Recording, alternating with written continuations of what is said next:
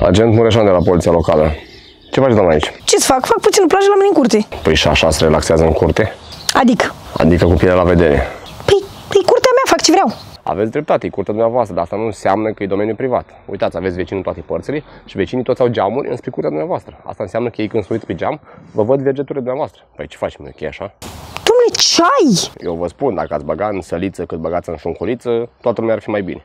Uh, domnul polițist, uh, haideți că deja suntem nesimțiți. Așa zic și eu, dar eu doar îmi fac meseria. Ce meserie ai tu de să intri în curtea omului și să jignești? Doamnă, eu nu vreau să vă jignesc, dar nu este ok. Uitați-vă numai ce vergeturi aveți. Vreți ca vecinul ăla să vă vadă harta de la metrou pe fund, că la cât de adânc deja sunt sub Carpații de curbură. Dar cum vă permiteți să spuneți așa ceva? Dar dumneavoastră cum vă permiteți să ieșiți din casă în curte așa? Așa cum? Așa cum te-a lăsat mama natură. Imperfect. Și coatele alea încrețite chiar nu sunt ok. Arată parcă sunt niște moțuri de curcan. Adică, amică, dacă vă dau mâncare, faceți... Uh, domnul polițist, nu înțeleg. Adică tu intri în curtea mea și îmi spui cum ar trebui să mă prezint?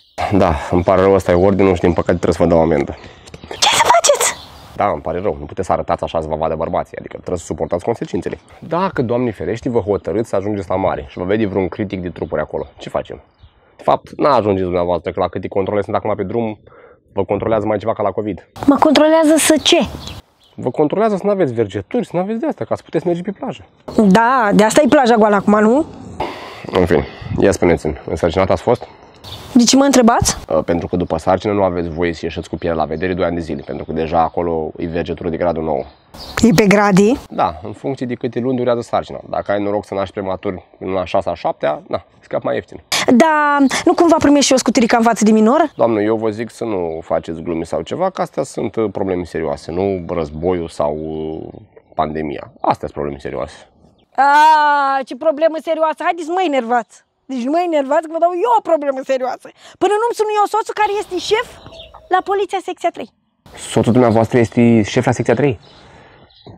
Mă iertați, îmi cer scuze, v-am deranjat. O zi frumoasă aveți. La revedere, am plecat. Mersi frumos.